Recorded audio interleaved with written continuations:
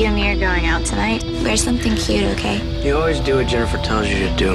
It's just that I like the same things that she likes. Hey, Jennifer. You look really pretty. Why don't you just come by my place? That was random. This isn't really your house, is it? We can play mommy and daddy. No way. We always share your bed when we have slumber parties. Jennifer's evil. I know. No, I mean, she's actually evil, not high school evil.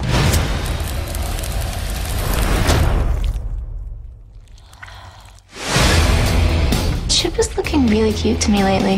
How is he tasting these days? You are never a good friend. You could have anybody that you want. Why Chip?